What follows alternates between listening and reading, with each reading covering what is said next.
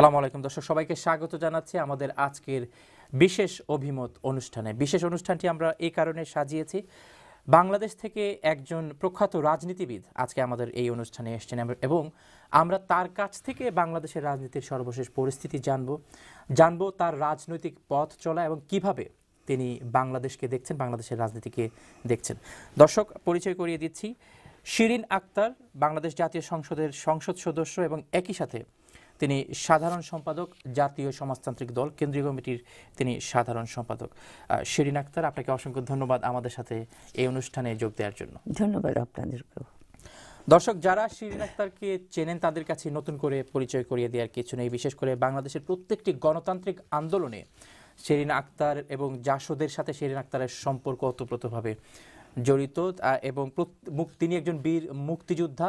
এছাড়াও বাংলাদেশে গত কয়েক বছর ধরে, কয়েক দশক ধরে শ্রমিক আন্দোলনের যে কয়েকটি জোট আছে বা যে কয়েকটি সংগঠন শ্রমিক আন্দোলনে সবসময় মুখ্য ভূমিকা পালন করেছে, শিরিন আক্তার তার প্রত্যেকটির সাথে সরাসরি জড়িত ছিলেন। শ্রমিকদের আন্দোলন প্রতিষ্ঠায় শ্রমিকদের অধিকার প্রতিষ্ঠা এবং তিনি সভাপতি জাতীয় শ্রমিক জোট বাংলাদেশ। এছাড়াও তিনি বিভিন্ন জাতি এবং আন্তর্জাতিক বিভিন্ন গুরুত্বপূর্ণ সংগঠনের সাথে সরাসরি সম্পৃক্ত। আমরা শিরিন আক্তার প্রথমেই বাংলাদেশের রাজনীতিতে আসি এবং এর পরবর্তীতে আমরা জানতে চাইব বাংলাদেশের রাজনীতি সম্পর্কে আপনার বিশ্লেষণ। অবশ্যই জাসদ সম্পর্কে আমরা কথা বলব, জাসদের বর্তমান সিচুয়েশন এবং যে অবস্থান থেকে আপনি জাসদের সৃষ্টি আপনারা তৈরি করেছিলেন কিংবা জাসদের সাথে আপনার সম্পৃক্ততা, সেই অবস্থান থেকে আপনি আজ- আজকে জাসদকে কীভাবে দেখছেন? প্রথমে যদি আমি আপনাকে প্রশ্ন করি, আপনি জাসদে কেন যোগ দিলেন? বাংলাদেশে তখন এত জনপ্রিয় একটি দল আওয়ামী লীগ থাকতে, পরবর্তীতে আরেকটি জনপ্রিয় দল বিএনপি থাকতে বা জাতীয় পার্টি থাকতে, জাসদকে কেন আপনি বেছে নিলেন? বাংলাদেশ শুরুর পূর্বেই আমরা যখন লড়াইটা করছিলাম, পশ্চিমা শাসক গোষ্ঠীর বিরুদ্ধে, পশ্চিম পাকিস্তানের বিরুদ্ধে তৎকালীন পূর্ব বাংলার যে লড়াই, সেই লড়াই শোষণ মুক্তির মধ্যেই আমার ছাত্র রাজনীতিতে প্রবেশ। সূর্য সেন মাস্টারদা সূর্য সেন এবং প্রীতিলতার পথ ধরে আমরা যখন পথ হাঁটা শুরু করেছি, তখন আমাদের চোখে মুখে স্বপ্ন স্বাধীনতার। সেটা উনিশশো সাতষট্টি সাল থেকে আমার জন্যে। কিন্তু তার আগে চোখ খুলেছে আমার রাজনীতিতে উনিশশো পঁয়ষট্টি সালে যখন পাক ভারত যুদ্ধ হয়েছিল। সেই যুদ্ধে তৎকালীন পূর্ব বাংলা ছিল একেবারে অরক্ষিত। বাবা চাচাদের কাছে শুনেছিলাম এ দেশ থাকবে না, এ দেশ থাকতে পারে না। কারণ অন্তত পনেরো মিনিটের যুদ্ধ হলেও তখন ভারত দখল করে নিতে পারত তৎকালীন আমাদের এই ভূখণ্ড। এর মধ্যে ছেষট্টি ছয় দফা, বঙ্গবন্ধু ছয় দফা দিলেন স্বায়ত্তশাসনের জন্য। তার পরবর্তীতে সাতষট্টি সালে মনোমিয়ার রক্ত দেওয়া হরতাল, সেই থেকে আমার পদযাত্রা শুরু রাজপথে। এবং সেখান থেকেই আমি প্রকাশ্যে সরাসরি রাজনীতিতে অংশ নিয়েছি ঊনসত্তরের গণ অভ্যুত্থানে এবং সেই গণভ্যুত্থান সময় থেকে আমাদের প্রস্তুতি চলছিল। সত্তরের নির্বাচনের মধ্য দিয়ে প্রকাশ্য হয়ে গেল এবং আমরা বলতে থাকলাম যে যদি আমাদের প্রস্তাব মেনে না নেওয়া হয়, স্বাধীনতা ছাড়া কোনো বিকল্প নেই, তখনই মুক্তিযুদ্ধের প্রস্তুতি চলছিল। এবং মুক্তিযুদ্ধের প্রস্তুতিতে তৎকালীন সময় ছাত্রলীগ একটা বলিষ্ঠ ভূমিকা পালন করেছে। ছাত্রলীগের ভেতরেই একটা সিদ্ধান্ত হয়েছিল। আমরা নিউক্লিয়াসের কথা আপনি নিশ্চয়ই শুনেছেন। বাষট্টি সালে নিউক্লিয়াস করেছিল সিরাজুল আলম খান কাজী আরিফ আহমেদ আব্দুর রাজ্জাক সহ অন্যান্যরা। এই সব কিছু কিন্তু হচ্ছিল বঙ্গবন্ধু নির্দেশেই। এবং একটি পর্যায়ে এসে আমরা যখন স্বাধীনতার প্রস্তু মুক্তিযুদ্ধের প্রস্তুতি নিলাম প্রত্যক্ষ সাক্ষী আমি কীভাবে জাতীয় পতাকা তৈরি হলো কীভাবে আমার সোনার বাংলা জাতীয় সঙ্গীতে পরিণত হলো কীভাবে জয় বাংলা ধ্বনি উদ্ভাবন হলো শেখ মুজিব কীভাবে বঙ্গবন্ধুতে পরিণত হলেন এই সব কিছুর মধ্য দিয়ে কিন্তু আমাদের বেড়ে ওঠা। এবং তারপরে একাত্তরের মুক্তিযুদ্ধের প্রস্তুতি এবং সেই প্রস্তুতিতে আমরা অস্ত্র হাতে প্রশিক্ষণ নিয়েছি ঢাকা বিশ্ববিদ্যালয়। এই সব কিছুর ভেতরে ওই একটাই কথা আমাদের মুক্তি চাই। আর তখন ছাত্রলীগের ভেতর থেকে আমরা স্বপ্ন দেখেছিলাম, এই যে স্বাধীন দেশটি হবে, সেই দেশটি হবে সমাজতান্ত্রিক বাংলাদেশ। আমাদের সাথী বাবু স্বপন কুমার চৌধুরী প্রস্তাব দিয়েছিলেন ছাত্রলীগের বর্ধিত সভায়। এবং তখনই ছাত্রলীগের মধ্যে আরেকটি দল ছিল যারা স্বাধীনতা চাইতেন না। এবং এই ফারাকের মধ্য দিয়ে আমরা কিন্তু স্বাধীনতার পক্ষেই ছিলাম। এবং তার মানে ছাত্রলীগের মধ্যে অনেকেই ছিলেন যারা স্বাধীনতা চাইতেন না। তারা কি তারা কি পাকিস্তান পন্থী ছিলেন নাকি? পাকিস্তানের মধ্যেই সকল সমস্যার সমাধান হোক এরকমটাই তারা ভাবতেন। এমনকি শুধু তাই নয় আজকের কমিউনিস্ট সেই নেতা কি সেই নেতারা কি এখনও বাংলাদেশে আছেন? আছেন। কমিউনিস্ট পার্টির যেমন ছাত্র ইউনিয়ন তারা সমস্তটা চেয়েছেন পাকিস্তানের ভেতরেই। কখনো ভাবেননি যে যুদ্ধ করেই একটা দেশ স্বাধীন করে আহ, সমাজতন্ত্রের কথা বলবেন। সুতরাং এরকম অনেক মত বিমত পথ পার্থক্য ছিল। এবং তখনই আমরা একটা স্বপ্ন দেখেছিলাম সমাজতান্ত্রিক বাংলাদেশ গড়বার। স্বাভাবিকভাবে মুক্তিযুদ্ধের ভেতরেও কিন্তু সে লড়াই হয়েছে। এবং এই দীর্ঘস্থায়ী লড়াইয়ের প্রস্তুতি আমাদের ছিল বলেই মুজিব বাহিনী তৈরি হয়েছিল। এবং মুজিব বাহিনী বা বিএলএফ বাংলাদেশ লিবারেশন ফ্রন্ট আমরা সেখানে যাবার প্রস্তুতি গ্রহণ করেছিলাম। এবং আমরা অপেক্ষা করছিলাম যেখানে ভারতে যাওয়ার সুযোগ আমার হয়নি। কিন্তু ঢাকায় বসেই অস্ত্র হাতে নিয়ে যারা প্রশিক্ষণ করেছিলাম তারা বিভিন্ন দলে ভাগ হয়ে গেছি।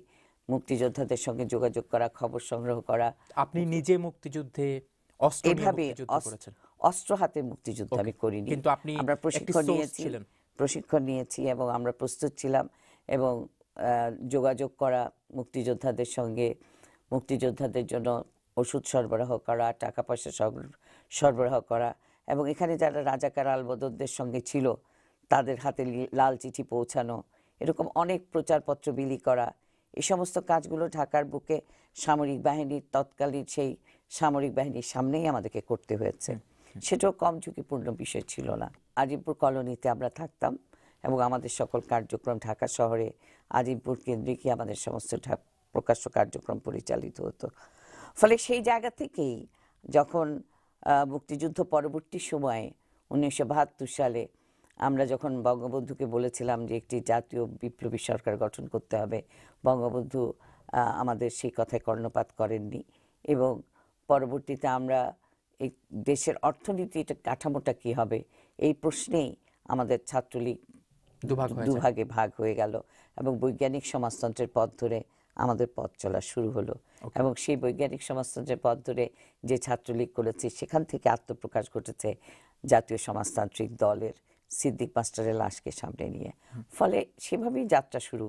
প্রতিষ্ঠার থেকেই যাত্রার অগ্র থেকেই আমি জাসদ জাতীয় মুক্তি আন্দোলনের ভেতর থেকে জাতীয়তাবাদী সংগ্রামের ভেতর থেকে গড়ে ওঠা সমাজতন্ত্রের লক্ষ্যে ধাবিত হয়ে আমাদের এই দল তার মানে হয়েছে তার মানে কি এটি দাঁড়াল যে মুক্তিযুদ্ধের জাস্ট কয়েক মাসের মধ্যেই আপনারা ভাবলেন যে আপনারা আপনারা যে চিন্তায় দেশকে স্বাধীন করেছেন যে চেতনায় আপনারা মুক্তিযুদ্ধ করেছেন। সেই চেতনার সাথে বঙ্গবন্ধুর যে চেতনা বা বঙ্গবন্ধুর যে স্পিরিট বা বঙ্গবন্ধু যেভাবে যে নির্দেশনায় দেশ পরিচালনা করছেন তার সাথে বিস্তর ফারাক আছে আপনাদের। এই এটি কি আপনাদের মূল অর্থনীতি রাজনৈতিক দিকের এই ফারাকটার জন্যেই আমরা আসলে দল করতে সিদ্ধান্ত গ্রহণ করেছি। বাহাত্তর থেকে এখন দু হাজার সতেরো পঁয়তাল্লিশ বছর পরে আপনাদের এই মুভমেন্টটা যখন বিশ্লেষণে আসে তখন আপনাদেরকে যখন শুনতে হয় যে আপনাদের ভুলের কারণে কিংবা আপনারা বঙ্গবন্ধু হত্যাকাণ্ডের যে সুযোগ সেই সুযোগ সৃষ্টির পেছনে আপনাদেরও হাত আছে যেটি সৈয়দ আশরাফুল ইসলাম বলেছেন বিভিন্ন সময়। তখন কি আপনাদের মধ্যে কোনো অনুশোচনা হয় যে তখন যদি আপনারা এক এক থাকতেন তাহলে হয়তো বঙ্গবন্ধুকে হত্যা করা সেই সুযোগটি সৃষ্টি হতো না? রাজনীতিতে এই অনুশোচনার কোনো জায়গা নেই। জায়গা নেই এই কারণে আমরা তখন জেনে বুঝেই দলটি গঠন করবার সিদ্ধান্ত নিয়েছি এবং সেই পথ চলার যে দ্বিমতটি হয়েছিল সেজন্যই সিদ্ধান্তটা নিয়েছিলাম এবং রাজনৈতিক সিদ্ধান্তগুলো এভাবেই তৈরি হয় এবং আজকের পরিস্থিতি অনুযায়ী আবার আমরা সেই মুক্তিযুদ্ধের জন্যেই সেই মুক্তিযুদ্ধের চেতনা বাস্তবায়নের জন্যে সেই মুক্তিযুদ্ধের ভেতরকার যে কাঙ্ক্ষিত আকাঙ্ক্ষা সে আকাঙ্ক্ষাটাকে লালন করবার ধারণ করার মধ্য দিয়েই কিন্তু আমরা বেড়ে উঠেছি। এবং আজকে যখন বাংলাদেশ ওই মুক্তিযুদ্ধের উপরে আক্রমণ আসলো, মুক্তিযুদ্ধের চেতনার উপরে আক্রমণ আসলো, তখনই আবার মুক্তিযুদ্ধের সকল শক্তিকে ঐক্যবদ্ধ করবার সিদ্ধান্ত জাতীয় সমাজতান্ত্রিক দলের ভেতর থেকেই হয়েছে। এবং আমরা সে আহ্বান জানিয়েছি শেখ হাসিনাকে, আহ্বান জানিয়েছি আওয়ামী লীগকে এবং পর তৎপরবর্তীতে এই চোদ্দ দল তৈরি হয়েছে। এবং এই চোদ্দ দল যখন তৈরি হয়েছে তার একটি কর্মসূচি রয়েছে তেইশ দফা কর্মসূচি। যে কর্মসূচি একটি আদর্শিক রাজনৈতিক মোর্চা গঠন করতে সাহায্য করেছে। আমি যদি আরেকটু বাহাত্তর পরবর্তী সময়ে চলে যাই যে আপনারা যখন আওয়ামী লীগ ভাগ হলো আওয়ামী আপনারা ছাত্রলীগ ভাগ হয়ে দুখণ্ড হয়ে আপনারা জাসদ সৃষ্টি করলেন তখন বঙ্গবন্ধু সরকারকে কিন্তু প্রেশার দেওয়ার একটি শক্তি ছিল জাসদ। এবং দেশে আপনারা চেয়েছিলেন যে বৈজ্ঞানিক সমাজতন্ত্রের কথা বলে আপনারা আরেকটি প্ল্যাটফর্ম গঠন করলেন। সেই প্ল্যাটফর্ম গঠন করতে যে হানাহানি শুরু হয়ে গেল দেশে। হাজার হাজার আপনাদের সদস্য মারা গিয়েছেন এবং- হাজার হাজার বঙ্গবন্ধুর আওয়ামী লীগের সদস্যরাও কিন্তু মারা গিয়েছেন। তো এই হানাহানি করতে যে আপনারা কীভাবে দেশকে আসলে সামনে এগিয়ে নিয়ে যাওয়ার পরিকল্পনা ছিল আপনাদের? জাসদ একটি গণসংগঠন হিসেবে সমাজতান্ত্রিক গণসংগঠন হিসেবে বেড়ে উঠছিল। বিপ্লব মানে কি অস্ত্র হাতে নিতে হবে? বিষয়টি কি তখন এরকম এটা বিভিন্ন সময় বিভিন্ন রকম। এই কথাটাই বুঝার ব্যাপার। কিন্তু দেশে তখন গণতান্ত্রিক একটি সরকার হ্যাঁ গণতান্ত্রিক কিন্তু আমাদের দল নিষিদ্ধ হয়েছিল। আমাদের দলটি বাকশাল গঠনের পরে নিষিদ্ধ হয়ে গিয়েছিল। সব দলই নিষিদ্ধ ছিল হ্যাঁ অনেকগুলো দলই নিষিদ্ধ ছিল। বাকশালে তো বাকশাল সৃষ্টি হওয়ার পরে বাকশাল সব দল নিষিদ্ধ হয়নি। অন্য দলরা আওয়ামী লীগের সঙ্গে ঐক্যবদ্ধ হয়ে বাকশাল গঠন করেছে। আমি সেটাই বলছি হ্যাঁ। বাকশাল ছাড়া তখন তো আওয়ামী লীগও বাকশালের মধ্যে বিলীন। তো বাকশাল ছাড়া তো সব দলই তখন তাদের রাজনৈতিক কোনো কর্মকাণ্ড ছিল না। না জাতীয় সমাজতান্ত্রিক দল জাসদকে নিষিদ্ধ ঘোষণা করা নিষিদ্ধ ঘোষণা করা হয়েছে। তো আপনারা তখন স্বাভাবিকভাবেই তখন আমাদের উপরে যে নির্যাতন অত্যাচার তখন আমরা সেটা প্রতিরোধ করবার জন্যই অস্ত্র হাতে তুলে নিয়েছিলাম। এটি সঠিক সিদ্ধান্ত ছিল বলে মনে করেন সেই মুহূর্তের জন্য তাই সঠিক ছিল। এখন কি অনুশোচনা হয়? অনুশোচনার আমি তো বলেছি রাজনীতিতে অনুশোচনার কোনো বিষয় নেই। রাজনৈতিক পথ মত এগুলো তৈরি করবার জন্য বিভিন্ন রকম ইস্যু তৈরি হয়ে থাকে। আপনাদের তো টার্গেট আমি সেই জায়গাটাতে সেই জায়গাটাতে বড় কথাটা হচ্ছে সেই সময়ে অনেকগুলো ঘটনা ঘটেছিল। আজকের এই মুহূর্তে সেই বিস্তারিত ব্যাখ্যা যাবার সময় এটা সময় নয়। না সময় এটা নয়। আমি মনে করি যে এই মুহূর্তে যখন আমরা মুক্তিযুদ্ধের শক্তি আবার ঐক্যবদ্ধ হয়েছি মুক্তিযুদ্ধের শক্তি যখন যুদ্ধ মুক্তিযুদ্ধ বিরোধী শক্তির বিরুদ্ধে লড়াই করছি সেই মুহূর্তে আমাদের নিজেদের যে সমস্ত বিষয়গুলো ছিল সেগুলো নিয়ে কথা বলবার বা কাদা ছোড়াছুড়ি করবার ইতিহাস চর্চা করবার সময় এটা আমরা মনে করি না। ইতিহাসই বলে দেবে ইতিহাসই বিচার করবে আমাদের সেই সময়কার অবস্থানগুলো কি ছিল কি না ছিল। কিন্তু আওয়ামী লীগের ভেতরে যাদের কষ্ট জাসদকে নিয়ে তারাও তো ইতিহাসের অংশ। সৈয়দ আশরাফ বলুন কিংবা অন্যান্য যারা বিভিন্ন সময় জাসদের বিভিন্ন কর্মকাণ্ড নিয়ে সমালোচনা করেছেন তাদের ভেতরের কষ্টটাও তো সেখানে দায়িত্ব কষ্ট কষ্ট শব্দটি বলব না। কষ্ট শব্দটি এখানে বড় কথা নয়। সেখানে আমরা বলব যে যে যা দায়িত্ব নিয়ে কথা বলছেন এই মুহূর্তে সেটি দায়িত্ব কিনা সেটাই বুঝবার ব্যাপার। আমি আপনার কাছে পরবর্তীতে যে বিষয়টি নিয়ে আলোচনা করতে চাই জাসদের আদর্শ বা বাংলাদেশের বামপন্থী রাজনৈতিক দলগুলির আদর্শ প্রায় কাছাকাছি বামপন্থী রাজনৈতিক দল।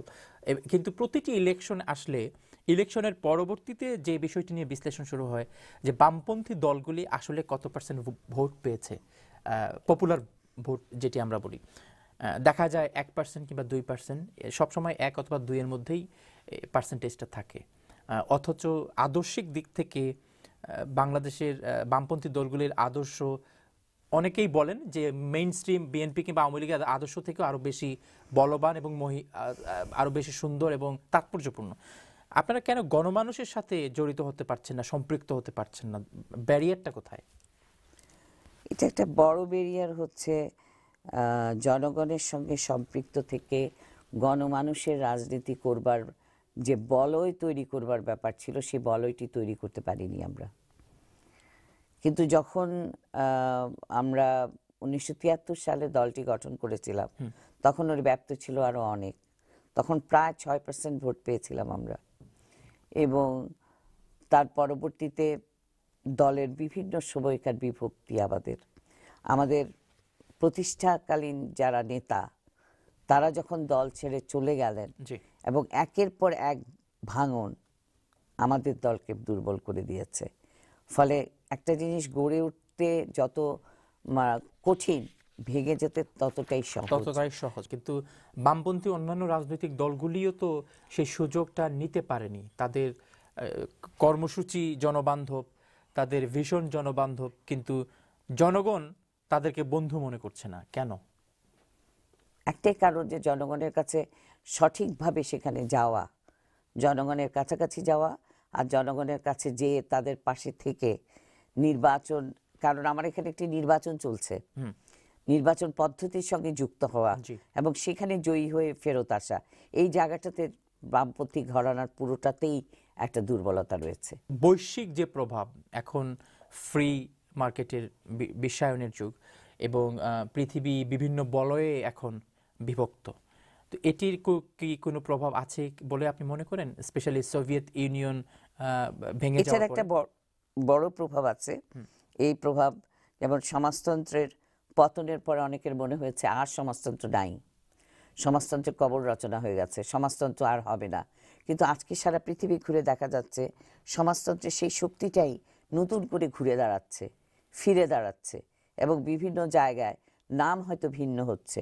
কিন্তু মূল যে কাজটি, মূল যে সুরটি, সেই সুরটি নিয়েই মূলত মুক্তবাজার অর্থনীতির বিরুদ্ধে, সাম্রাজ্যবাদের বিরুদ্ধে আধিপত্যের বিরুদ্ধে লড়াই চলছে গণসংগ্রাম চলছে।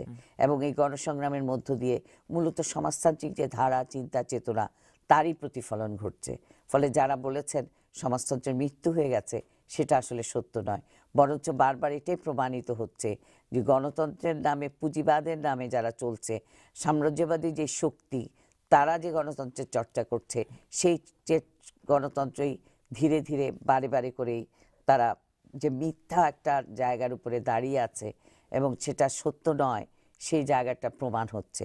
ফলে সেখান থেকে আবারও নতুন করে পৃথিবী ঘুরে দাঁড়াবার জন্য সচেষ্ট হচ্ছে। পৃথিবীর সেই মানুষগুলো যখন সম্পদ পৃথিবীর সম্পদকে আমরা ভাগ করি তখন দেখা যায় অর্ধেক সম্পদ এই পৃথিবীর মাত্র আট দশজন মানুষের হাতে আছে। তো সুতরাং সেইরকম একটা বৈষম্যের পৃথিবীতে কখনোই বৈষম্যহীন যে রাজনীতি তা মার খেতে পারে না। এর কৌশল, এর অবস্থান, এর নেতৃত্ব এগুলোর কারণে হয়তোবা এদিক ওদিক হতে পারে। কিন্তু আপাত দৃষ্টিতে নয়, সর্বশেষে কিন্তু জয়লাভ করবে এরাই, যারা অনেক বেশি সম্পদহীন অবস্থা এখন রয়েছে। আপনি বিভক্তির কথা বলছিলেন এবং জাসদের সর্বশেষ বিভক্তির সাথে আপনার ব্যক্তিগতভাবে আপনার আপনি জড়িত। আপনাকে সাধারণ সম্পাদক করায় যারা মহিউদ্দিন খান পদত্যাগ করেছেন এবং তিনি নতুন আরেকটি জাসদ পদত্যাগ করেনি তিনি আরেকটি জাসদ গঠন করেছেন। বাল সুলভ আচরণ হয়েছে এটা তাদের। কেমন? যেমন তারা পুরো সম্মেলনে থাকলেন, কাউন্সিলে থাকলেন। কাউন্সিলে যখন সর্বসম্মতিক্রমে সিদ্ধান্ত হয়ে গেল হাসানুল হকিনু সভাপতি, একটি কথাও তারা বলেননি তার বিরুদ্ধে। কোনো রকম কথাই বলেননি। এবং যখন সাধারণ সম্পাদক পদে নির্বাচনের বিষয়টি আসলো এবং সেখানে ভোট দেওয়াতে দেরি হওয়া বা সংকট তৈরি হওয়া এগুলোর কথা ধরে নিয়ে তারা বেরিয়ে গেলেন। তারা কিন্তু নির্বাচনটি করলেন না। না করেই বেরিয়ে গেলেন এবং বেরিয়ে দিয়ে তাৎক্ষণিকভাবেই তারা প্রেস ক্লাবে যে দল ঘোষণা করলেন যেখানে যেই সভাপতির বিরুদ্ধে একটি কথাও ছিল না সেই সভাপতিকে বাদ দিয়ে শরীফনুল আম্বিয়াকে সভাপতি ঘোষণা করলেন। ফলে এখান থেকে বোঝা যায় যে আমার পদ নিয়ে তাদের সমস্যা নয় তাদের সমস্যা আর অন্য কোনোখানে। এবং যেখানে হাসানুল হকিনুর বিরুদ্ধে কথা বললেন না একটিও ভিতরে বাইরে যে সবচেয়ে বেশি বিষোদ্গার করলেন হাসানুল হকিনুর বিরুদ্ধে। এবং এমন সমস্ত অবাস্তব সমস্ত বক্তব্য হাজির করলেন যেটা কোনোভাবে বিবেচনা আনারও কোনো জায়গা নেই। বিরুদ্ধে আপনি যেহেতু তার সাধারণ সম্পাদক তার বিরুদ্ধে তার দলের সাধারণ সম্পাদক তার বিরুদ্ধে অভিযোগ হচ্ছে তিনি যাদেরকে অনুগত মনে করেছেন, তাদেরকে দিয়ে তিনি একটি পকেট কমিটি, তাদের ভাষ্য কমিটি গঠন করেছেন, যেটি যেটি আসলে জাসদের যে স্পিরিট সেই স্পিরিটের সাথে ঠিক সংযোগ নেই। যে, মহিউদ্দিন খান বাদলের কথাই বলি। এটা তো কোনোভাবেই মেনে নেওয়া যাবে না। কারণ হাসানুল হকিনও পকেট কমিটি গঠন করলে সেখানে নির্বাচনের কথা বলতে বলতেন না। এবং এর আগের এর হ্যাঁ নিশ্চয়ই নির্বাচন হয়েছে। এর আগের যে বছর সম্মেলন হয়েছে সেই সম্মেলনেও নির্বাচন হয়েছিল। তখন ইচ্ছা করলে হাসানুল্লাহ কিন্তু পকেট কমিটি গঠন করতে পারতেন। কিন্তু সেটা করেননি নির্বাচন হয়েছে। সেই নির্বাচনে শরীফুল আম্বিয়ার সাথে আমি মাত্র চৌত্রিশ ভোটে ভোটে হেরেছি। ফলে এটা মনে করবার কোনো কারণ নেই যে হাসানুল্লাহ কিন্তু পকেট কমিটি দিয়ে দল পরিচালনা করে। এবার এবার তাহলে নির্বাচনটি কেন হলো না? হয়েছে। আপনার পদে কি নির্বাচন হয়েছে? আমার পদে নির্বাচন হয়েছে? নাজমুল হক প্রধান ছিলেন। উনি হেরেছেন? উনি হেরেছেন। আচ্ছা কত ভোটে হেরেছেন? প্রায় ছশো ভোটে হেরেছেন। কিন্তু তাহলে ডিফারেন্সটা কোথায় ছিল? কোথায়? কেন মানে ভাগটা তার আগে তারা বেরিয়ে গেছেন। ইলেকশন যখনই যখনই নাম প্রস্তাব হলো নাম প্রস্তাবের সঙ্গে সঙ্গে একটা সমর্থন বোঝা যায় কাউন্সিলে সেই সমর্থনে যখন দেখা গেল বেশিরভাগ সংখ্যক কাউন্সিলররা আমার পক্ষে রয়েছেন তখন তারা একটা কিছু বলার ছুতা ধরেই প্রতিবাদ করে বেরিয়ে গেলেন। তো এর আগেও তো সুতরাং যেহেতু নামটি ঘোষিত হয়েছে সেই কারণে আমরা সিদ্ধান্ত নিয়েছি নির্বাচন করবার। এবং সেখানে নির্বাচন হয়েছে ভোটাররা ভোট দিয়েছেন। নির্বাচনটা হয়েছে নির্বাচনের ফলাফল ঘোষিত হয়েছে। এই মুহূর্তে জাসদ নাম দিয়ে বাংলাদেশে কয়টি দল রাজনীতি করছে? জাসদ ইনু একজন মহিউদ্দিন খান বাদল। মঈনুদ্দিন খান বাদল। সরি মঈনুদ্দিন খান বাদল আমি দুঃখিত বারবার মহিউদ্দিন বলছি। হ্যাঁ। জাসদ রব ওনারা কি অ্যাক্টিভ ওনারা জাসদ আছেন? ওই নামেই আছেন। ওই জেএসডি বলে আছেন জাসদ না। আচ্ছা। কারণ নির্বাচন নির্বাচন কমিশনে একটা কথা আছে যে একই নাম দিয়ে দুটো দল হতে পারবে না। তো সে অনুযায়ী আমরা নির্বাচন কমিশনের কাছে ইতিমধ্যে বলেছি মশাল এবং আমাদের নামের প্রতীক ইত্যাদি আমাদের পক্ষে থাকার কথা এবং নির্বাচন কমিশন সেই রায়ও দিয়েছেন। আচ্ছা। কিন্তু সেই রায়ের বিরুদ্ধে তারা আপিল করেছেন। আমাদের ধারণা যে নির্বাচন কমিশনের রায়টি বহাল থাকবে। আচ্ছা।